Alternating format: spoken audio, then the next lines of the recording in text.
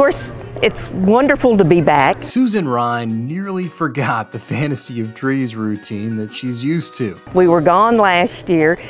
It's amazing how much you forget when you're not here for a year, you know, because it's usually routine, but it's been going it's been going good. The Fantasy of Trees co-chair says COVID-19 couldn't take this year's magic away. It's amazing, and people that have never been here and hear us talk about it, they really don't have a concept till they walk in. And when you walk in, Christmas comes to life. So it's the thing that gets me into the Christmas spirit, and it's what gets Knoxville into the Christmas spirit because everybody expects to come, they love to come, and that's what kicks off the season for them. Ryan says it really is a community event. Thousands of volunteers make it happen. The hospital's largest fundraiser features more than 350 custom designed trees, holiday accessories, storefront windows, door designs, and centerpieces. They're all priced to sell.